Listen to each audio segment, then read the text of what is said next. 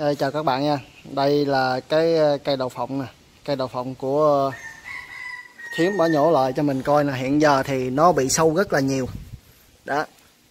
Hồi nãy mình mới thấy mấy con sâu. Nó ở đây đây đây các bạn thấy không? Nè nó nó ở đây nè. Nhìn thấy rõ luôn á. Và đối tượng mà sâu xanh trên đậu phộng này á, thì nó trời nắng này thì nó rất là nhiều luôn và khi mà mình phun thuốc á, thì mình phải phun vào lúc chiều mát. Chiều mát hoặc sáng sớm thì lúc đó con sâu nó còn ở trên cây đậu phộng nó chưa có trốn nắng á. Đó. Và cái ờ, thuốc á, thì mình phải ờ, sử dụng một loại á, là chết liền và một loại lưu dẫn nha các bạn.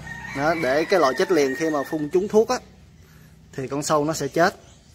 Còn lưu dẫn á, thì nó sẽ ờ, nó thuốc nó tồn lưu trong lá và khi con sâu lên ăn nó sẽ bị chết.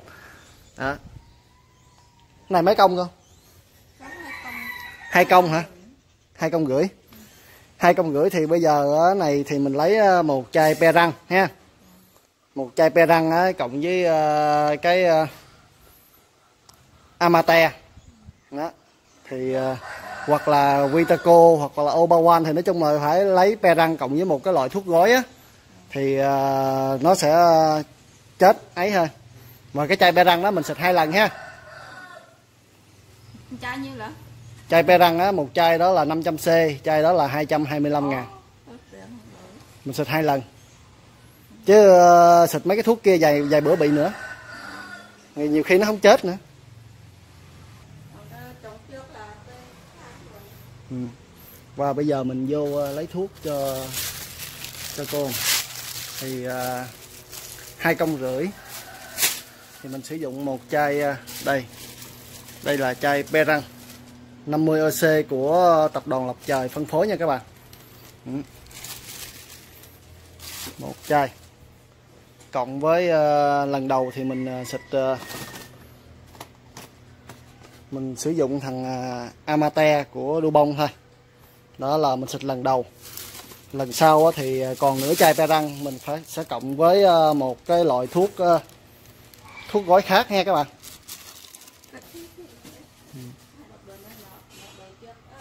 Và cộng thêm một chai à, thuốc dưỡng.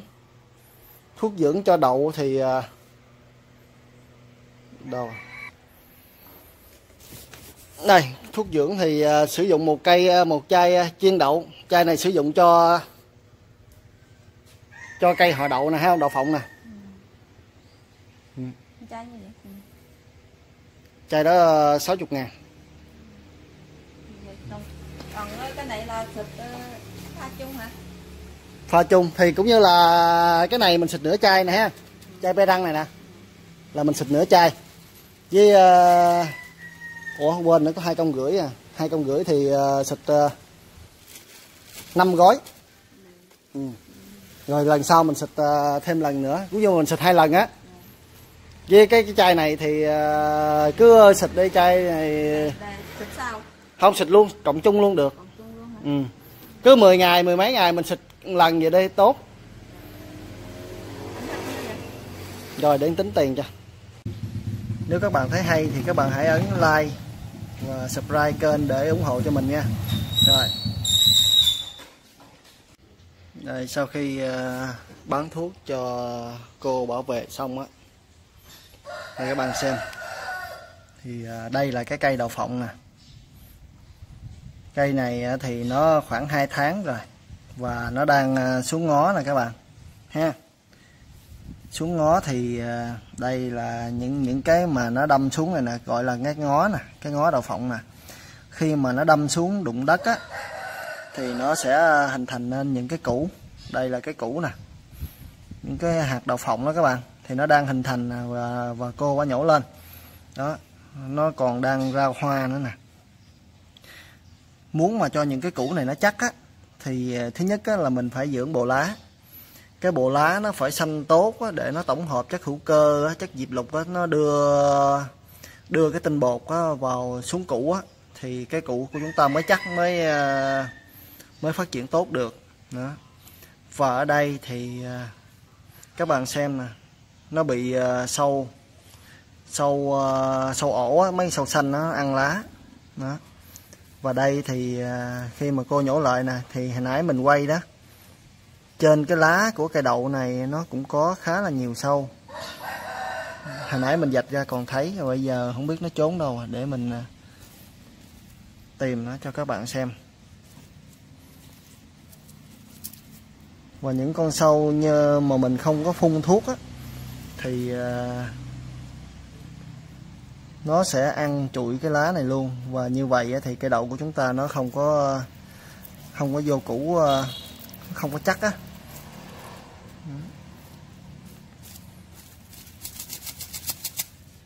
Ừ.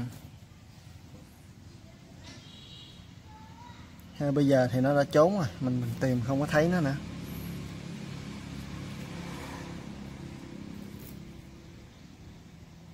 Đó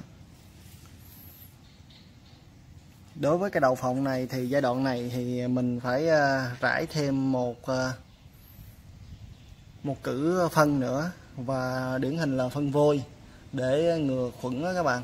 Rồi cộng với phân là 20 15 và một ít kali nữa để cho củ nó trắng. Đó. Và mình ờ, sẽ sử dụng phun thuốc, những cái thuốc mà chuyên cho cây đậu phộng để giúp cho cây đậu phộng nó xuống củ và nó phát triển tốt nha các bạn đó. Còn vừa rồi thì mình ờ, có lấy thuốc sâu cộng với ờ, một cái chai chuyên đậu cho cô qua sử dụng á. Rồi. Rồi mình xin chào các bạn. Thì uh, hiện tại thì mình đang ở uh, ngoài uh, đồng uh, ruộng các bạn ơi. Cây ngay cái uh, ruộng đậu phộng. Và mình uh, vừa mới uh, đi uh, giao giao đồ xong. Giao phân đó các bạn đây các bạn xem nguyên một cánh đồng này, rất là rộng lớn. Và gió nó thổi ờ, rất là lớn luôn. Nên ờ, nên ờ, âm thanh nó nghe nó hơi ồn nha các bạn. Đây con xe quyền thoại của mình đây. Đó. do thời tiết mà nắng nóng rồi ít mưa nên những cái ruộng này thì người ta không có trồng lúa nữa. Mà cây trồng chủ lực đó chính là đậu phộng đây các bạn đây là cái miếng ruộng đậu phộng của ông anh à trồng cũng, uh, cũng sắp được thu hoạch rồi nhưng mà hiện tại thì các bạn xem đó có bị ờ, một số bệnh ví dụ như là rỉ sắt trên đậu phộng các bạn ha. Đấy. cái lá nó bị ờ, bị đốm đốm á rồi nó giống như là bị rỉ sắt vậy đó. Rồi ờ, rồi nó bị sâu nữa. Cái khúc đằng kia thì sâu rất là nhiều. Đó.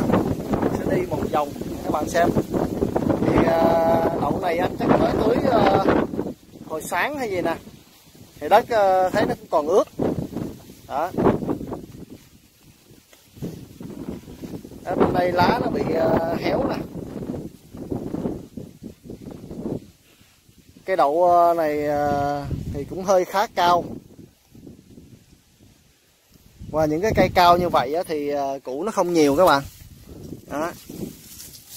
Mình sẽ nhổ thử một bụi. Để các bạn xem nè đó thấy rõ không các bạn?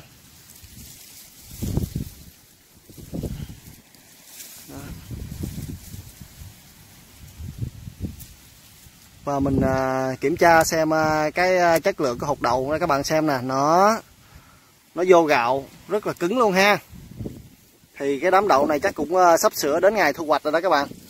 Thì một buổi như vậy á, thì cũng à, khá là nhiều hột đó, nhưng mà song song đó nó vẫn còn một số hột ờ, nó nó chưa có xuống củ được á.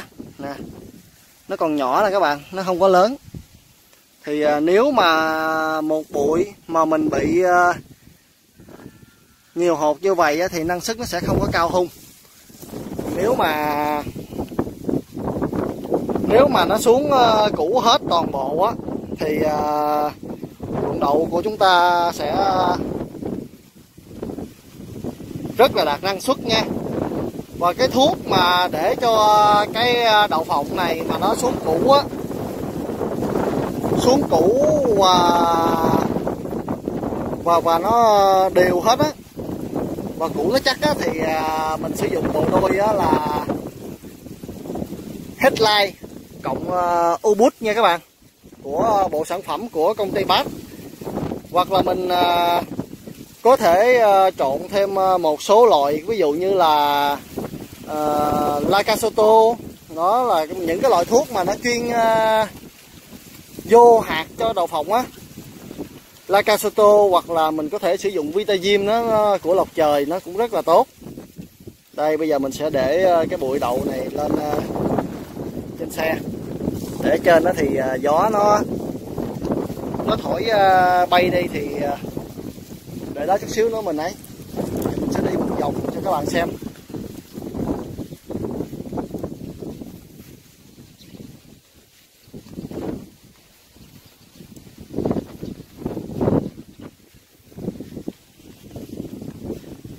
Để các bạn xem là xa xa thì à, cái miếng ruộng bên đây thì à, người ta không có trồng gì hết nè. Nó bỏ. Còn phía bên đây thì à,